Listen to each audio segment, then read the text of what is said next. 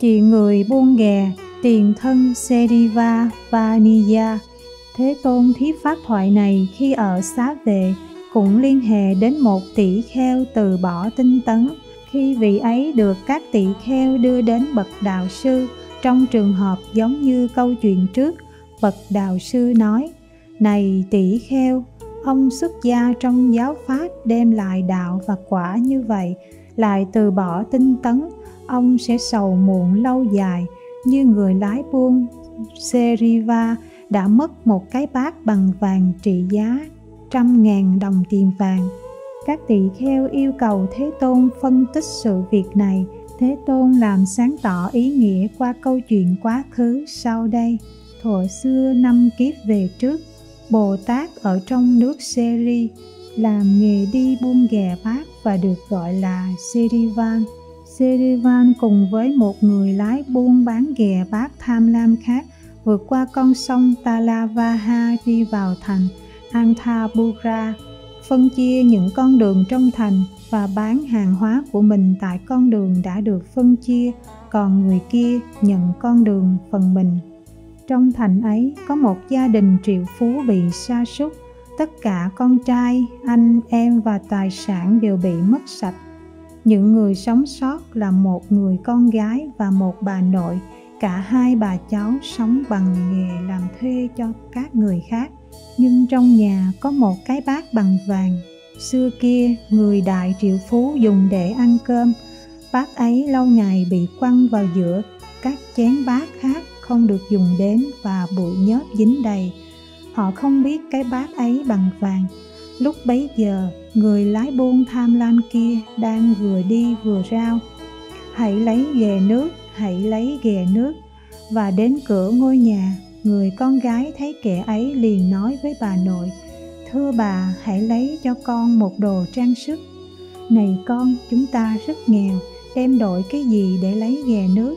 Có một cái bát không giúp ích gì cho chúng ta, hãy đem cái này đổi lấy ghè. Bà cho gọi người lái buôn lấy ghế mời ngồi, đưa cái bát cho kẻ ấy và nói, này ông, hãy lấy vật này và đổi cho chị một chút gì. Người lái buôn cầm bát suy nghĩ, bát này có thể bằng vàng. Xoay bát trên tay, cạo một đường với một cây kim sau lưng bát.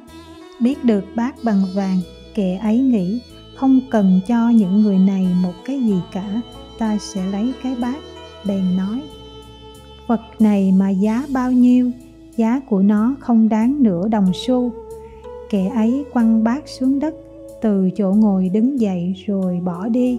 Bấy giờ, giữa hai người lái buôn có sự thỏa thuận rằng, khi một người đã vào con đường rồi bỏ đi, người kia có thể vào con đường ấy được.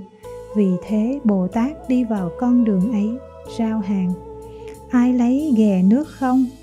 Và đi đến cửa ngôi nhà ấy, cô con gái nói với bà nội như trước. Bà nội nói với cô, này con, người lái buôn đến trước đã quăng bát xuống đất và bỏ đi. Nay chúng ta có thể cho cái gì để lấy được? Thưa bà, người lái buôn kia ăn nói thô ác, còn người này có dáng mặt dễ thương, ăn nói dịu dàng, rất có thể người này nhận lấy. Vậy hãy gọi họ lại cô gái gọi người này lại khi vị này vào nhà và ngồi họ đưa cái bát cho xem vị này biết cái bát là bằng vàng liền nói Thưa mẹ, cái bát này đáng giá trăm ngàn đồng tiền vàng. Tôi không có trong tay tôi hàng hóa giá trị bằng cái bát này. Này ông, người lái buôn đi đến trước nói rằng cái này không đáng giá nửa đồng xu, đã quăng bát xuống đất bỏ đi. Nay bát này nhờ công đức của ông trở thành bằng vàng, vậy chúng tôi cho ông cái bát này, hãy cho chúng tôi một chút ít thứ gì, rồi lấy cái bát và ra đi. Lúc đó Bồ Tát có trong tay 800 đồng tiền vàng và hàng hóa trị giá 500 đồng tiền vàng, liền đem cho tất cả và nói Hãy cho tôi giữ lại cái cân, cái giỏ và 8 đồng tiền vàng. Sau khi xin như vậy rồi, Ngài cầm lấy cái bát và ra đi. Ngài đi mau đến bờ sông, cho người chủ thuyền 8 đồng tiền và leo lên thuyền. Khi ấy người lái buôn tham lam trở lại và nói hãy đem cái bát ra đây ta sẽ cho các người một ít thứ gì. Nhưng bà già mắng lại kẻ ấy ngươi cho rằng cái bát bằng vàng của chúng ta trị giá một trăm ngàn đồng lại không đáng giá nửa đồng xu nhưng một người lái buôn chân chánh, giống như thầy của ngươi, đã cho chúng ta một ngàn đồng vàng, lấy cái bát và ra đi rồi. Nghe nói như vậy, kẻ ấy than, ta đã mất đi cái bát bằng vàng trị giá một trăm ngàn đồng tiền vàng rồi, nó thật là tên ăn cướp đã hại ta.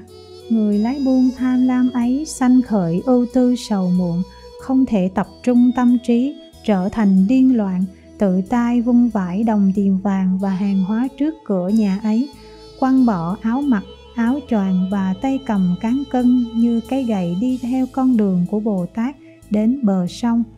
Thấy bồ tát đã đi qua sông, kẻ ấy liền kêu, hỏi bạn lái đò, hãy quay lại. Nhưng bồ tát ngăn chặn và nói, đừng quay lại. Thấy bồ tát dần dần đi xa, sầu muộn ưu tư của kẻ ấy khởi lên quả tim nóng rang, máu nóng trào ra miệng và quả tim ấy bị nứt ra như bùn dưới đáy của một bể nước. Do hận tâm chống bồ tát, kẻ ấy mền chung ngay tại chỗ. Đây là lần đầu tiên đề bà đạt đa có hận tâm chống bồ tát. Còn bồ tát trọn đời làm các công đức như bố thí, rồi đi theo nghiệp của mình.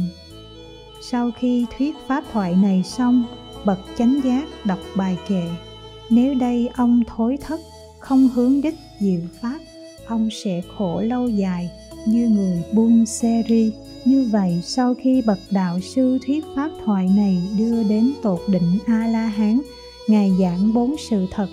Cuối bài giảng ấy, vị tỷ kheo từ bỏ tinh tấn chứng quả tối cao a la hán sau khi kể hai câu chuyện và kết hợp chúng với nhau, bậc đạo sư nhận diện tiền thân thời ấy, người lái buôn ngu si là đề bà đạt đa, còn người lái buôn hiền trí là ta vậy.